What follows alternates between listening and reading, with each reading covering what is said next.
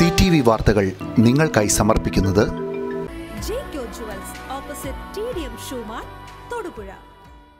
കോൺഗ്രസ് പുനഃസംഘടനയിൽ ആദിവാസികളോട് അവഗണനയെന്ന് ആദിവാസി കോൺഗ്രസ് മുൻ സംസ്ഥാന president K K Manoj.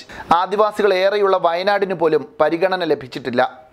മുൻ കമ്മിറ്റിയുടെ കാലത്തെ പരിഗണന പോലും ഇപ്പോഴില്ലെന്നും അദ്ദേഹം പറഞ്ഞു. കേരളത്തിലെ ഏറ്റവും അധികം പ്രശ്നപ്പെട്ട ആദിവാസി വിഭാഗത്തിൽ നിന്ന് ഒരാളെ പോലും ആ ലിസ്റ്റിൽ കാണാൻ കഴിഞ്ഞില്ല എന്നുള്ളത് വളരെ ദുഃഖകരമാണ്.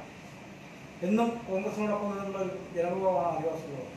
കേരളത്തിലെ അമ്പത്തിയാറ് അംഗങ്ങളുള്ള എക്സിക്യൂട്ടീവ് ഭാരവാഹികളും എക്സിക്യൂട്ടീവ് കമ്മിറ്റി അടക്കമുള്ള ആ ലിസ്റ്റിൽ ഒരു ആദിവാസി വിഭാഗത്തിൽപ്പെട്ട ഒരാളെ പോലും ഉൾപ്പെടുത്താൻ കഴിയാത്ത കെ പി സി സി നേതൃത്വം ഉൾപ്പെടുത്താത്തതിൽ ആദിവാസി കോൺഗ്രസിന്റെ മുൻ സംസ്ഥാന പ്രസിഡന്റ് എന്നതിൽ പ്രതിഷേധം അറിയിക്കും അറിയാം. കഴിഞ്ഞ പ്രാവശ്യത്തെ കെ പി സി സി രണ്ട് K P C C K P സെക്രട്ടറിമാർ ജനറൽ സെക്രട്ടറിമാരല്ല സെക്രട്ടറിമാർ ഉണ്ടായിരുന്നു.